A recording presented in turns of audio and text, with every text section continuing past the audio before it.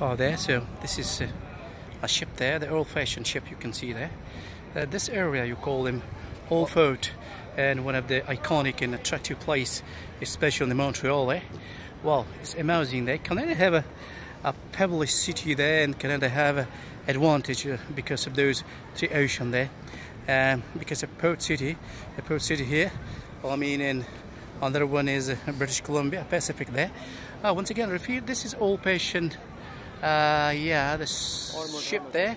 So this is all Montreal there, and you can see even the flag how those, uh, uh yeah, those, uh, yeah, intention figure of those uh, cross there. You can see. Uh, so this is a typical old-fashioned ship there. So a lot of uh, partition there, but this is.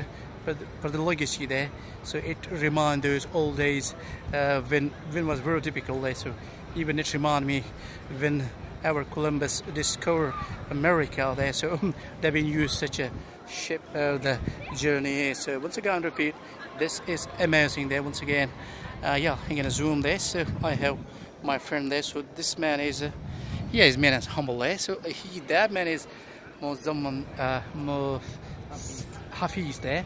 Yeah, sometimes it's to be tricky there. Yeah, uh, of course, there, there was amazing there.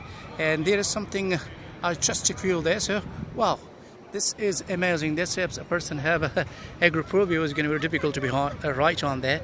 As for me, it's scary there, but anyhow, I don't care about these things. So, uh, yeah, thanks for your attention.